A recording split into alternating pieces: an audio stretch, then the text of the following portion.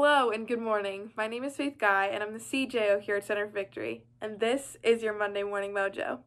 Today we're going into a quote from Mother Teresa, and she said, I alone cannot change the world, but I can cast a stone across the waters to create many ripples.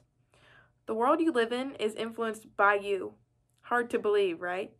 Every word you say or action you partake influences those around you. Therefore, when you start to speak positives, even if you believe they're small. You are speaking into the spirit and confidence of another.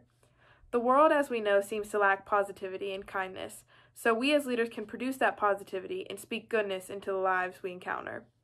You, my friend, are a world changer, and you have the capability to create an environment of empowerment. Mother Teresa said it best you can cast a stone and create ripples into others' lives. Go forth today with the mindset that you are a world changer with the capability to cast your stone into the lives of all those around you.